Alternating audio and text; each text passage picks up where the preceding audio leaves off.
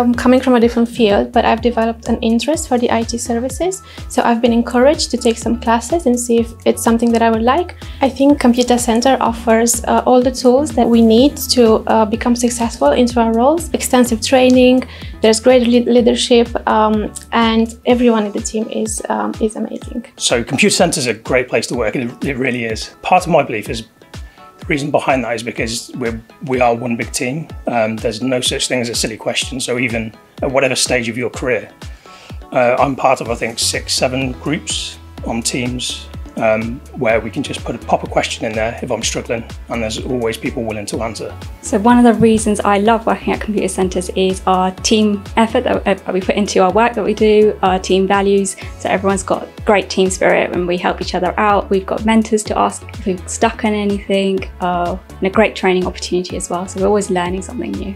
So the things that I really like about the, the team that we're a part of, uh, we, have worked very hard on creating a culture of teamwork and working together really, really well. And that culture is one where we support each other lots, where we look after each other a lot.